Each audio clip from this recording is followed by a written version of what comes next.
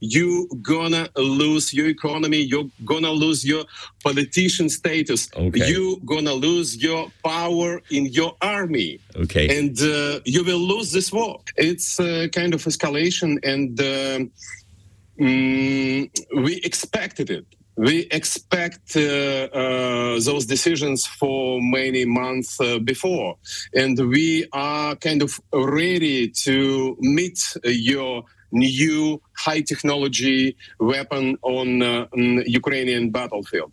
Of course, uh, it's gonna be huge difficulties for our army, for our people, for our security in Russia uh, if you will send long range missiles to Ukraine. They gonna use it. Um, and uh, uh, we should protect our cities, uh, our uh, people, and um, that's kind of escalation, of course. But you will not uh, uh, win this war.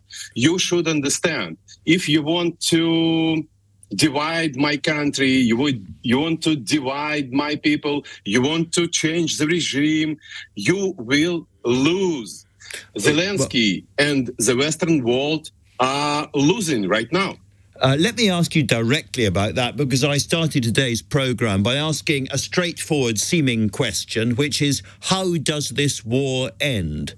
Nobody that I know of in the West is expecting to march on Moscow or invade Russia or anything like that. But at the same time, because of NATO weapons inside Ukraine, it's very hard for Russia to win militarily either. In other words, does this not just go on and on for years and years to come?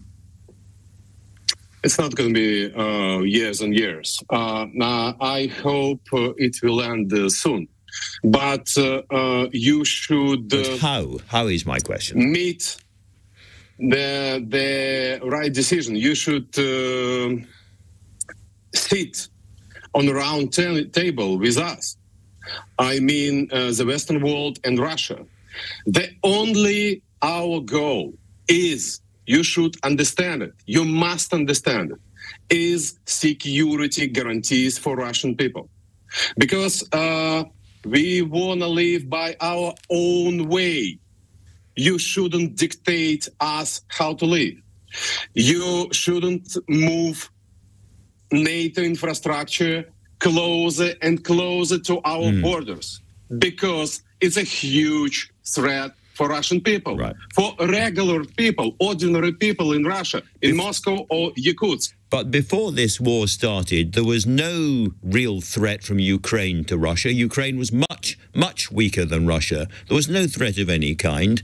And I know of nobody that I ever speak to in the West, in, in different governments, who makes any kind of military threat to Russia. That's regarded as mad here. So the question is are there any uh, negotiations that you're aware of? Are there any beginnings of peace talks? Are there any intermediaries? Is anything going on at all which would allow Russia uh, and the West and Ukraine to find a way to end this war? Of course, we just should sit and negotiate each other. I mean, Moscow, Washington, London, other parts of the Western world. Because, uh, you know, I can repeat, the only we need is security guarantees. And uh, uh, it's a huge mistake when you're talking about uh, uh, no threat for Russia before this military operation.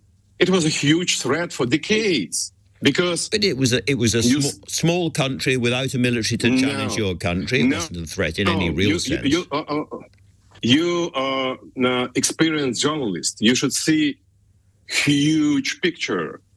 Uh, think big, because uh, we have uh, threat. Uh, threats from uh, uh, NATO countries, from the United States, uh, by uh, military system which is moving to our borders by decades from the era of collapsing the USSR and every every year military infrastructure on our borders is a huge threat for ordinary Russian people. But don't- it was before the military operation. Let me return, if I could, just to the issue that's obsessing people in London right now, which is this appeal by President Zelensky for Western jets to be sent to Ukraine. Britain seems to be, in some senses, out ahead of other Western countries. What would your message be to the British Prime Minister about taking this decision? I have no message for British uh, Prime Minister because I'm uh, under your British sanctions, which is funny.